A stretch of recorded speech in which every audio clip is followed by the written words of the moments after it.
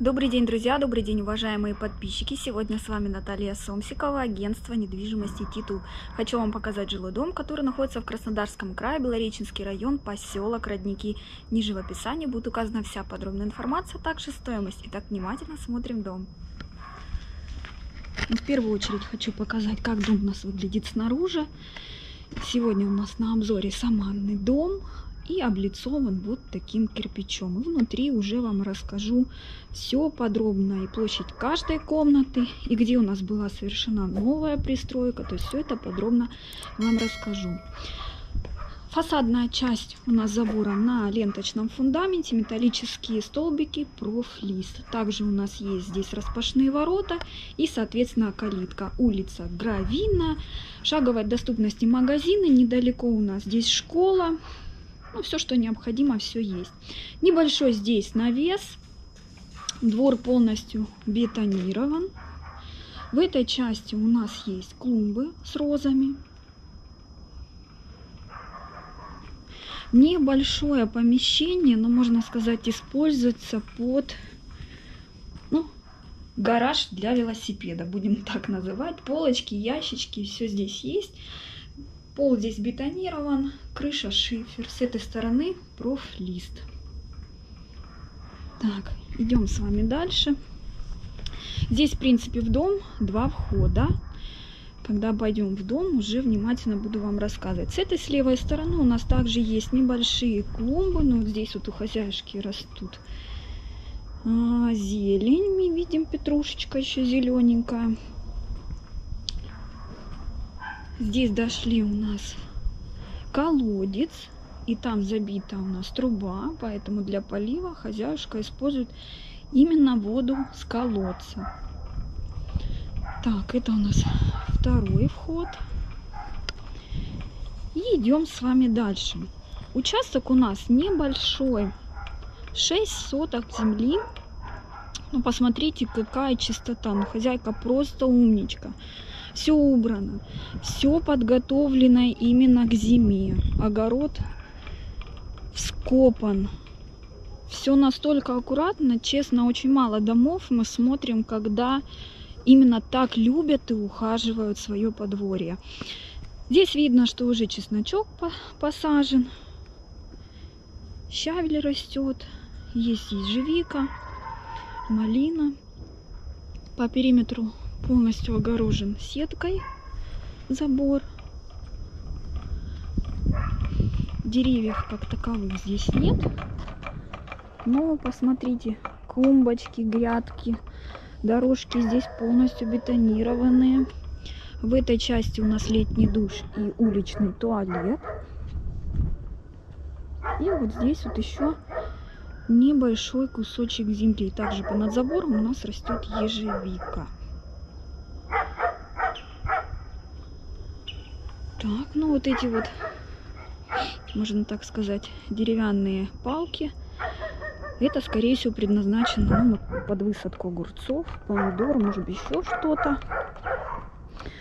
Здесь у нас получается, если мы по дорожке дальше пройдем, вот там справа вдалеке виднеются колеса автомобильные, там у нас находится септик. Так, Вода у нас также выведена на улицу. Мы видим первый кран и есть еще дополнительный. И вот здесь вот есть у нас помещение. Ну, можно сказать, что это кладовая. Сейчас, секундочку. Здесь, ну, света нет, но вот что есть. Значит, здесь у нас как кладовка банки. Хранятся закрутки, овощи, Полы деревянные, пол здесь также деревянный. Ну, в общем, необходимая вещь, нужна для любого домика. Сейчас закроем обязательно. Так, все, прикрыли. С этой части у нас дом оштукатурен и покрашен, так как это новая у нас пристройка, блочная и оштукатурена. То есть у нас основной дом, если с этой стороны мы с вами посмотрим, Основной дом вот кирпичом обложенный. И вот эта вот пристройка, где находится у нас санузел и кухня. Крыша также очень хорошо сейчас просматривается. Она у нас шиферная. И на пристройке также шифер. Так, идем внимательно смотреть с вами внутри все. Дверь здесь деревянная. Мы зашли в дом. И у нас сразу здесь в пристройке а, летняя кухня. Установлен кухонный гарнитур, также плита. Окна здесь пластиковые, подоконники также. Полы здесь у нас бетонированы, сверху лежит линолеум. Вот такой газовый котел здесь. И в зимний период времени, когда очень холодно, дом у нас 82 квадратных метра, по отоплению где-то ну, 3000 рублей с небольшим, как сказала хозяюшка. Ну, вместе со светом около 4. Ну, за такую площадь считаю, что это, в принципе, немного. С этой стороны фотообои, небольшой шкаф. И вот получается две ступеньки, это в основной дом. Здесь у нас дверь. Идем сюда. Здесь у нас ванная комната, установлена ванная, пол здесь плитка, также предусмотрен дополнительный слив. Окно здесь пластиковое. Также здесь в этой стороне установлен насос. И мы видим с вами бойлер. Ну, хоть курткой накрыто, но все равно кися вышла. Помещение большое, достаточно, поэтому, в принципе, здесь вот как раз вот просится установить унитаз. Ну, при строительстве это не было необходимостью поэтому он не установлен. Дверь здесь деревянная. Ну, помещения достаточно, всего вместе с ванной и этой кухней около 17 квадратных метров. Ну, хозяйка пользуется этим ходом, в принципе, можно в дом ходить с другой стороны, а этот ход закрыть. Идем дальше, дверь здесь у нас деревянная. Так, и вот посмотрите, основной здесь вход, это как раз в этой стороне. Дверь здесь у нас металлическая, снутри она светлого оттенка. Если бы мы сходили в этой, с этой стороны, у нас получается коридор, вход в кухню и, соответственно, в основные жилые помещения, которые здесь есть в доме. Здесь у нас с левой стороны пластиковое окно.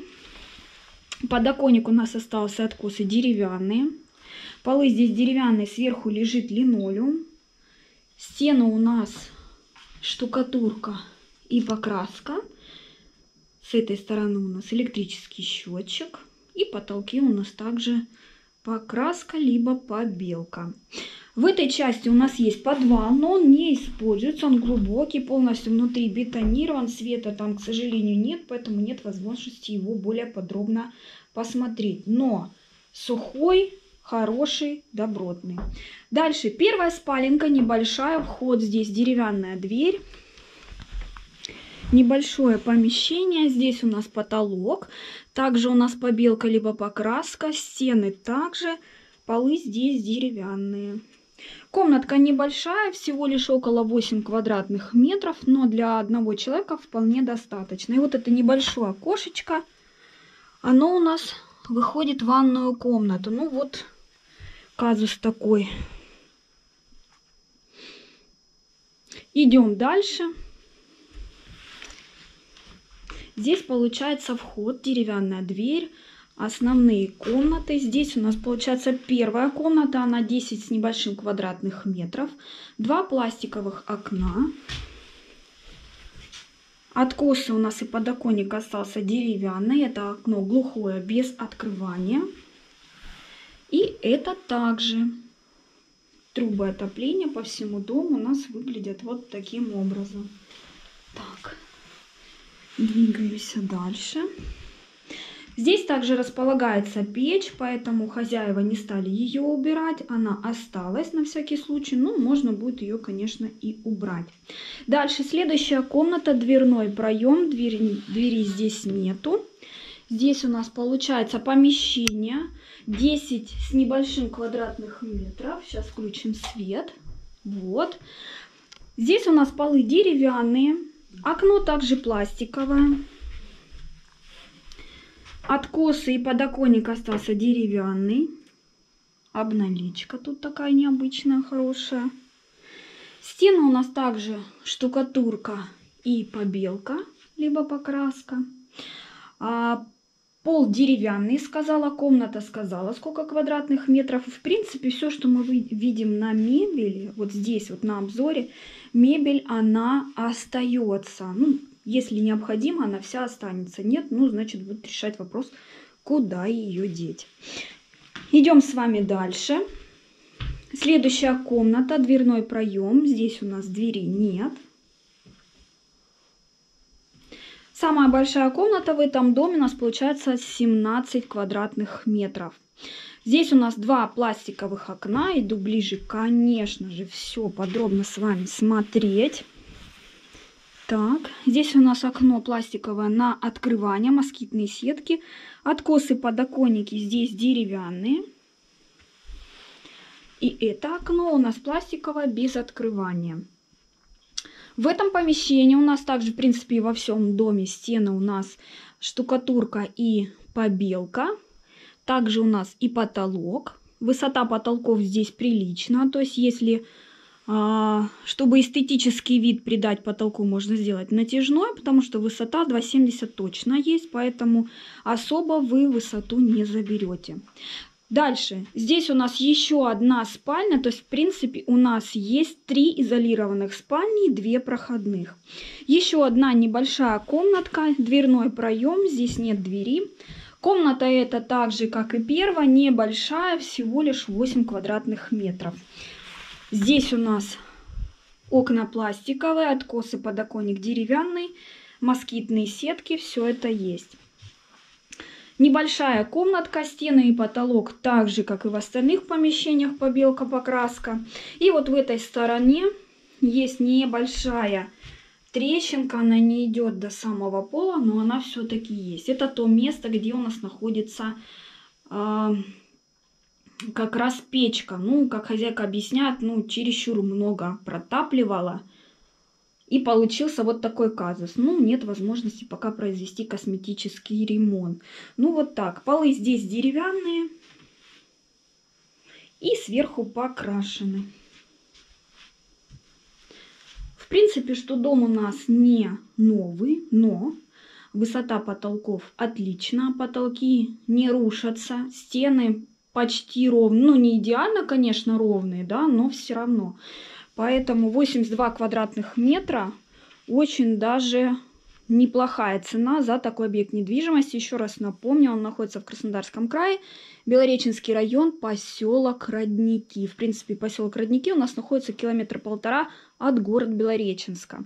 И здесь у нас, получается, мебель есть. Еще раз сказала, что мебель у нас практически вся остается, если такая необходимость есть у новых покупателей. Мы сегодня с вами посмотрели объект недвижимости, который находится в Краснодарском крае, Белореченский район. Ниже в описании будет указана вся его подробная информация, включая площадь дома и площадь земельного участка, а также стоимость. Если вам этот объект понравился, обязательно звоните по номеру, который указан ниже под видео. Также пишите комментарии, ставьте лайки и не забывайте подписываться на наш канал. Сегодня с вами была Наталья Сомсикова, агентство недвижимости «Титул». Всем пока-пока, до новых встреч!